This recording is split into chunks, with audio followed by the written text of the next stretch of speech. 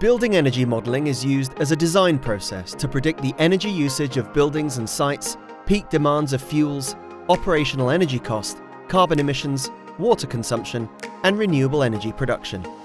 By using the world-renowned Apache simulation engine, IESVE software offers an unlimited range of passive or active energy conservation measures to be evaluated from schematic design through to post-occupancy.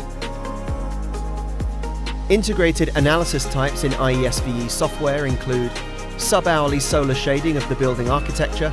dynamic daylight simulation linked to electric lighting systems, a range of HVAC systems types used to control temperatures, humidity and ventilation rates for all occupied spaces to maintain thermal comfort, passive cooling systems from natural ventilation through operable windows, renewable energy technologies, battery storage systems, and seasonally tiered utility tariff costs.